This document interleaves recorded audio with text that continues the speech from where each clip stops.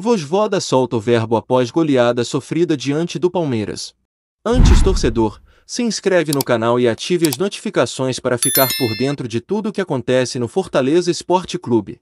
Na noite desta quarta-feira, em dia de confirmação de título da equipe Alviverde, o Fortaleza visitou o Palmeiras e foi goleado por 4 a 0. O tricolor do PC teve uma atuação coletiva muito abaixo do que vem apresentando no retorno da competição, com alguns destaques negativos individualmente no sistema defensivo e pouca produtividade ofensiva.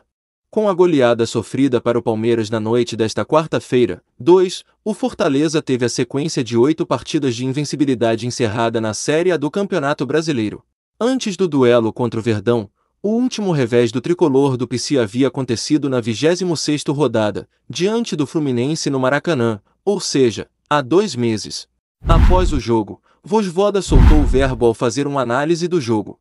Não foi o jogo que esperávamos. O adversário teve situações e o controle do jogo. Fez os gols nos momentos chaves da partida. O primeiro gol foi nosso erro. Deixamos descoberta uma setor importante para o adversário.